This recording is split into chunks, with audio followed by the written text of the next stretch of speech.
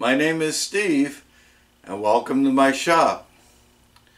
This video is going to be part two of the maintenance series that I started on my Atlas 10F lathe with the quick change threading gears. I know it's been a while but I've had a lot of other projects and I've been videoing them.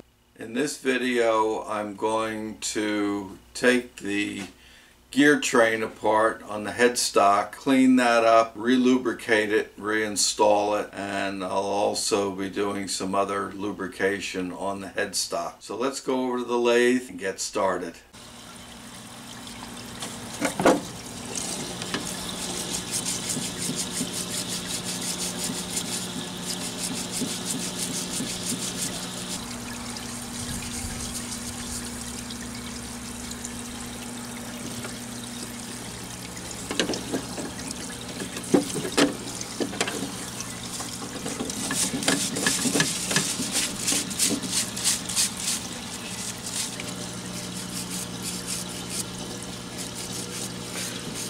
Using uh, mineral spirits. This is a, actually a combination of a lot of different type of material. There's mineral spirits, there's kerosene in here, and it's mixed with product called Super Concentrate Gunk. It's SC series, and it's a cleaner that gets dissolved in, in a mineral spirits type you can use it kerosene, you can use it free uh, fuel oil.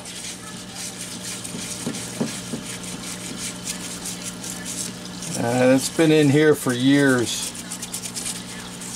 When I first got this cleaning tank, I tried to use a water-based solvent in it, but I didn't use it enough. And so when I take it out of storage and go to use it, it was all full of mold.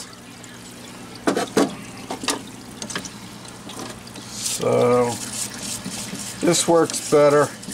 It uh, does evaporate a little bit, but I actually keep it stored outside in a storage uh, locker, storage shed, for a couple of reasons. One, for fire I don't want it in the in the shop. It stinks. It smells like cleaning solvent all the time. And I just don't have really have the space for it. So I just break it out of the storage locker when I need it.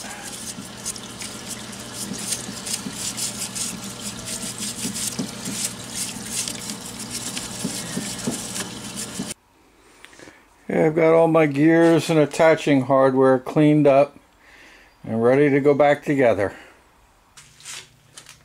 I'm going to put the sub-assemblies together first.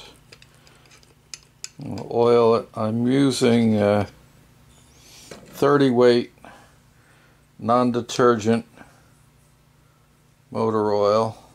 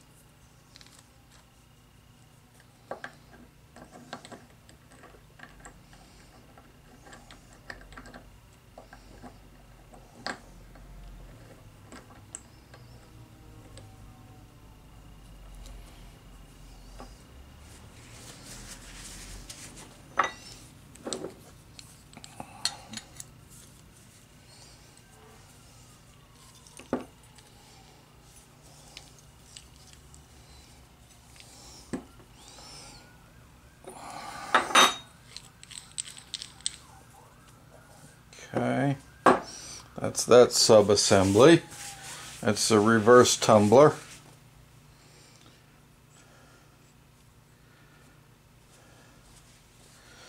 And this is the, uh, the high-low gear for the threading. It's actually got a, a, bron a brass bushing in it.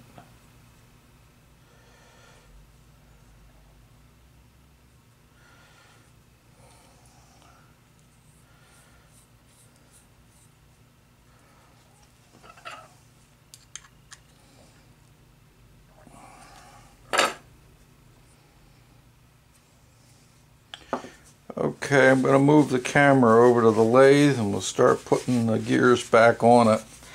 Do the best I can. It's pretty tight over there. I don't know how I'm going to be able to get that in there, get the camera in or not. We'll give it a try.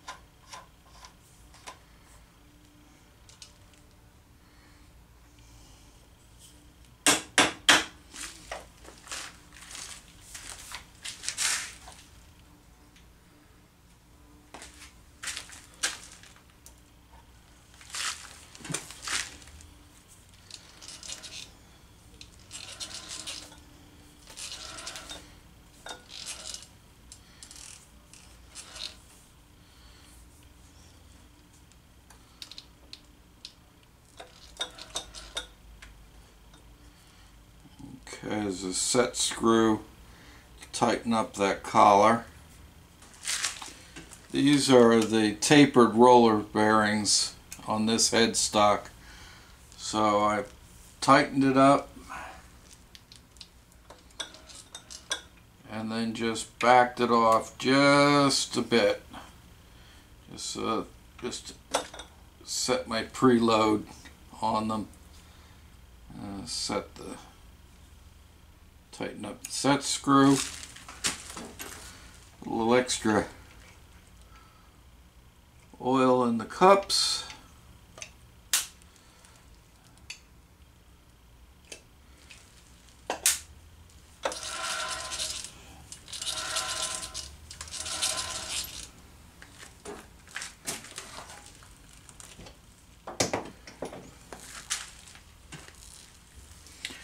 This set of gears engages the quick change gears.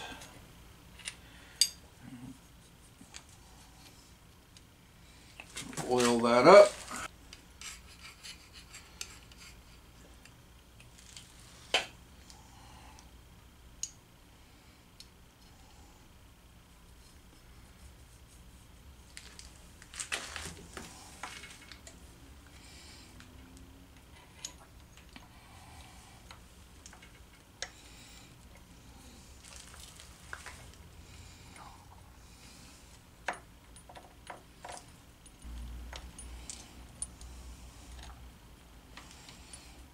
I'm going to take and put all the gears in place first.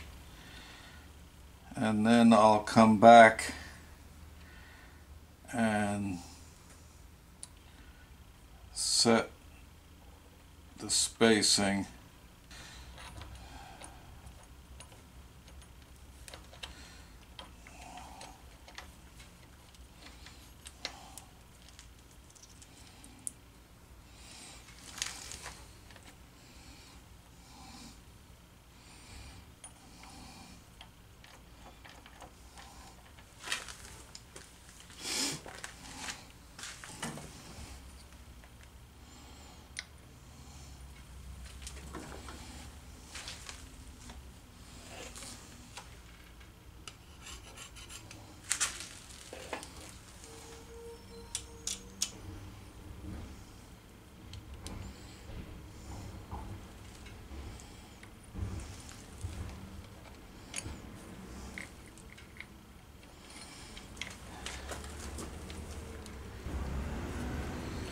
This gear slides in and out on the to set up the high and the low range going into the uh, quick change gearbox. I said I'll, I'll tighten up all these gears and set the backlash once I get everything in place. Now this is the tumbler gear setup. Now in most the Atlas lathes this has a detent on it. For some reason on this lathe it's got a uh,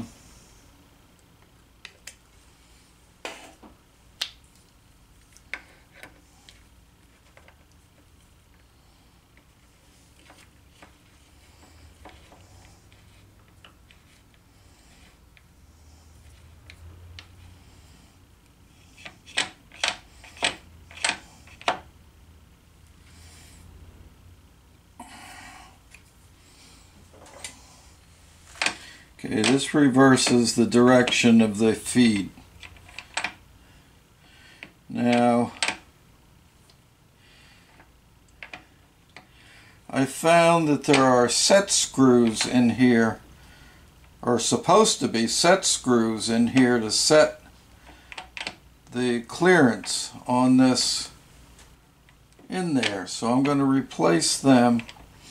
This was one thing that was a pain because you have to adjust this and I had to readjust the, the gear spacing every time I did it. And it makes a big difference on how noisy or quiet this is. This banjo arrangement here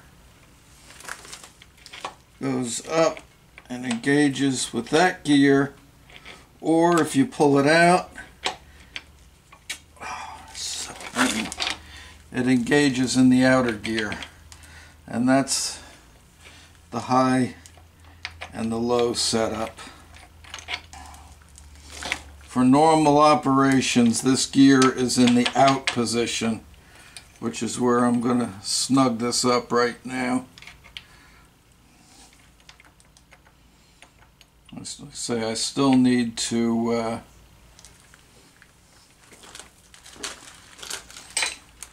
set up the spacing on all these gears.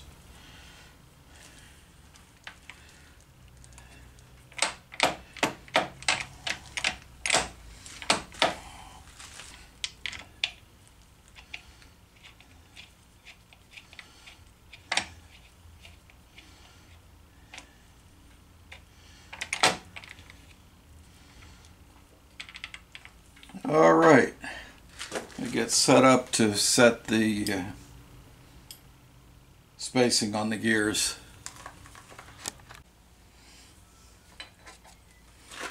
Yeah, the rule of thumb has been on setting these gears that you set the clearance to the thickness of a piece of paper. And so I put a piece of paper in there and I snugged up the gears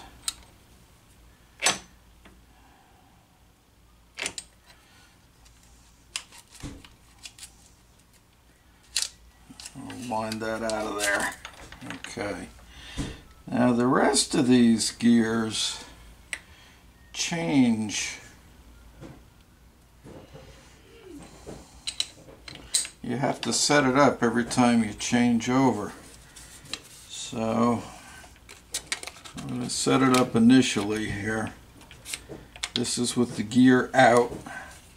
I've got that snugged up. Okay. Now, I'm going to move the banjo up into place. I'll put my paper in there.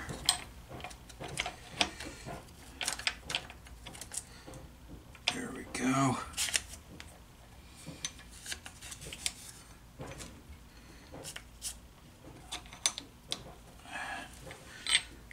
Tighten that up.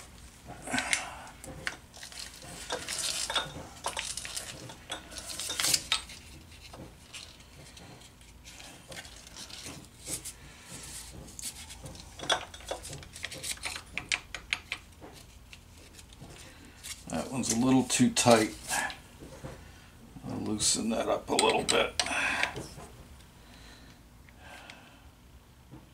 Oh, that's fine there, but it's too tight here. Tightened up when I tightened up the screw. There we go. Here we go. These gears are set.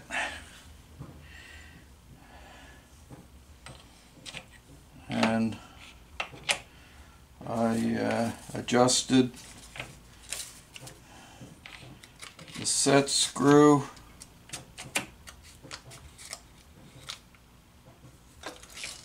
that's good and now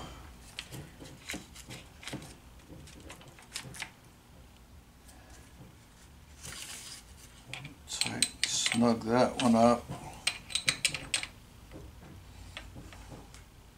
yeah, that feels like it's about right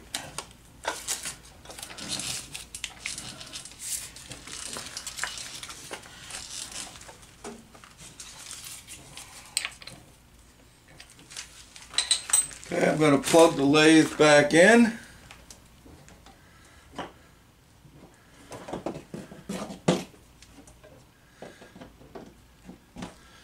Let's see what they sound like.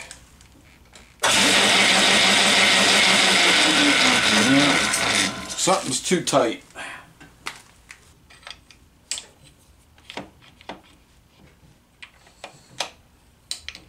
Let's try that one.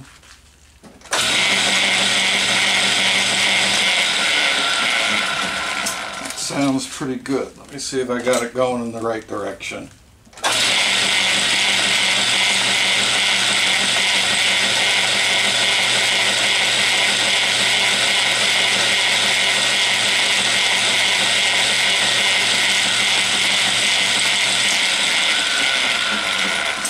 Okay, I've got it going in the right direction. Me take, I'm going to unplug it again. So I'm going to be playing around with these gears. Something still feels too tight. Say the the paper is a rule of thumb and sometimes you got to go by feel. That feels better. Let's plug it back in.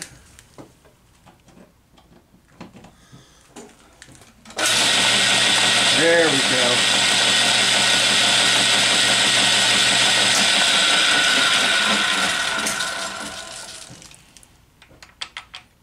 Much better. I think this gear is still a little tight. Let's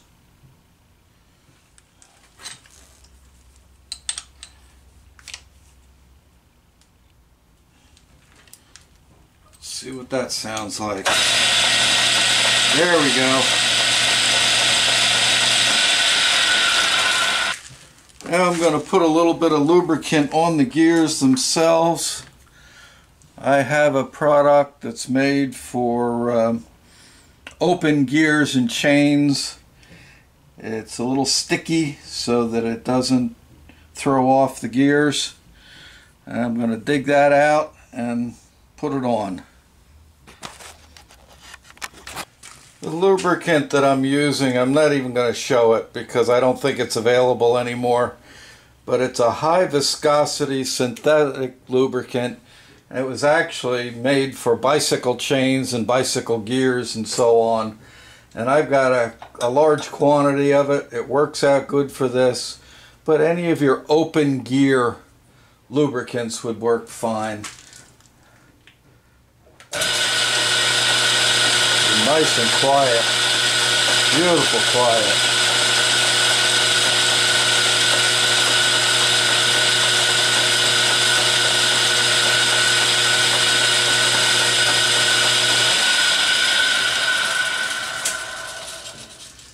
Put a little bit more down here.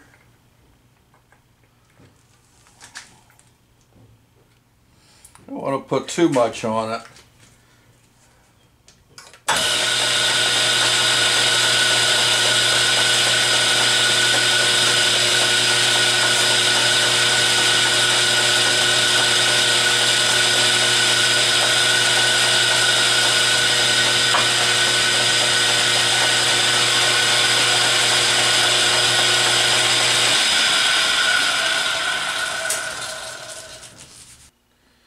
Well, that's going to wrap up this video, uh, part two on the maintenance of my Atlas lathe.